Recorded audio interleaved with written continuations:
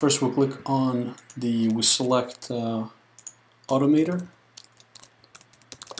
do a search, Automator, then here we're going to select Service, Choose, here we're going to select No Input. This has to be any application. And in the library we need to select here uh, type Apple and select Apple script. We're going to drag it here.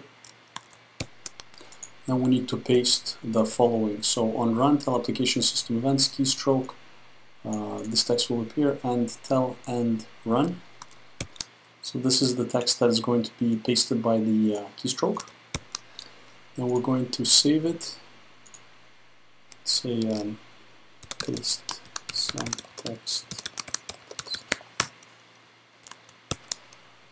So now we're going to go to the uh, system preferences. We're going to go to the uh, keyboard shortcuts. So here, and then we're going to go to the services.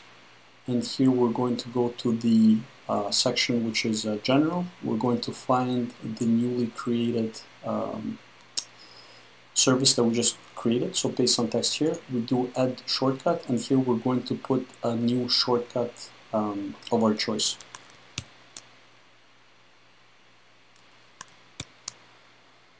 So here it's been selected, so if we go to open up a screen, I'm going to do my shortcut, and it's going to paste the text.